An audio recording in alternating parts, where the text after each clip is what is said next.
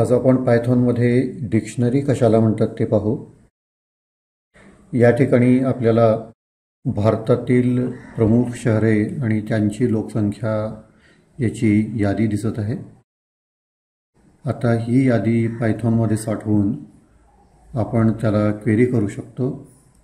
तर त्याच्यासाठी डिक्शनरी याचा वापर केला जातो. तर डिक्शनरी ही अशा पद्धतीने लिहिली जाते.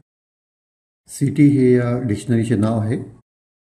आणि डिक्शनरीचे जे कंटेंट्स आहेत ते कर्ली ब्रेसेसमध्ये लिहिलेले आहेत. आपण जेव्हा लिस्ट तयार करतो पायथॉनमध्ये त्यावेळी लिस्टचे एलिमेंट्स हे स्क्वेअर ब्रॅकेटमध्ये आपण टाईप करतो. आणि डिक्शनरीमध्ये आपण कर्ली ब्रेसेसचा वापर करतो. डिक्शनरीमध्ये प्रत्येक एलिमेंटमध्ये दोन भाग असतात. त्याला की आणि व्हॅल्यू म्हणतात. तर आपण पहिल्यांदा जे लिहितो त्याला की म्हणतात आणि त्याच्यानंतर जे लिहू त्याला व्हॅल्यू म्हणतात आणि दोन्हीच्यामध्ये एक कोलन दिला जातो. या ठिकाणी मुंबई ही आपली की आहे आणि संख्या जी लिहिलेली आहे ती त्याची व्हॅल्यू आहे. की किंवा व्हॅल्यू ही कोणत्याही प्रकारची डेटा टाईप असू शकते.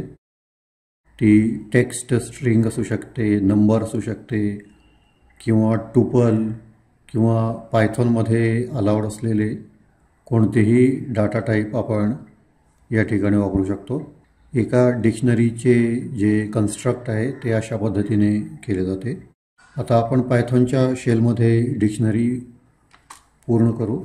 डिक्शनरी तयार झाल्यानंतर आपल्याला त्यातील डाटा ॲक्सेस करायचा असेल तर त्यासाठी डिक्शनरीचे नाव लिहून स्क्वेअर ब्रॅकेटमध्ये आपल्याला त्याची की लिहावी लागेल. तर या ठिकाणी city in square bracket Mumbai. तर डिक्शनरी तयार करताना आपण कर्ली ब्रेसेस वापरले आणि डिक्शनरी ॲक्सेस करताना आपण स्क्वेअर ब्रॅकेटचा वापर करू. तर या पद्धतीने आपण याचा डेटा ॲक्सेस करू शकतो. आता आपण आणखीन एक उदाहरण पाहू. जर आपण असे एखादे नाव लिहिले जे आपल्या डिक्शनरीमध्ये नसेल तर काय होते ते पाहू. तर येथे आपल्याला एरर मेसेज दिसून येतो. की एरर म्हणजे त्या नावाची की आपल्या डिक्शनरीमध्ये नाही. डिक्शनरीमधील सारी नावे आपल्याला जर प्रिंट करायची असतील तर त्यासाठी आपल्याला फक्त डिक्शनरीचे नाव लिहून एंटर केल्यास आपल्याला डिक्शनरीमधील सर्व नावे इथे दिसून येतात. डिक्शनरीमध्ये आपल्याला नंतर एखादे नाव जर जोडायचे असेल तर ते आपल्याला असे करता येते. City in square bracket Chennai equals to आपण त्याची संख्या लिहिली आणि एंटर करू. आता आपण सिटीचे कंटेंट्स प्रिंट करून पाहू. तर या ठिकाणी डिक्शनरीच्या शेवटी येथे चेन्नई हे नाव आणि त्याच्यासमोर त्याची लोकसंख्या ॲड झालेली दिसून येते. यानंतर जर आपल्याला डिक्शनरीमधील एखाद्या शहराची लोकसंख्या अपडेट करायची असेल तर ते आपण असे करू शकतो. City in square bracket Mumbai equals to आणि लोकसंख्या.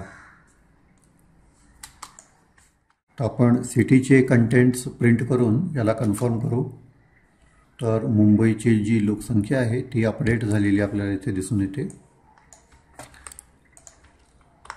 डिक्शनरीमधील एखादे नाव आपल्याला जर काढून टाकायचे असेल तर ते आपण असे करू शकतो. D E L city in square bracket आणि एखादे नाव.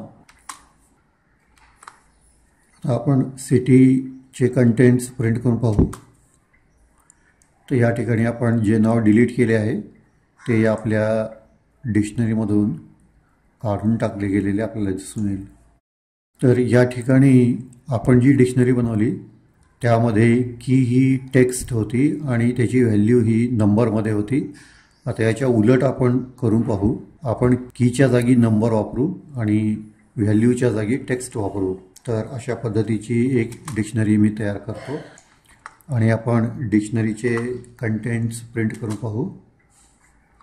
डिक्शनरीमधील जे एलिमेंट्स आहेत ते आपण या ठिकाणी प्रिंट करू शकतो.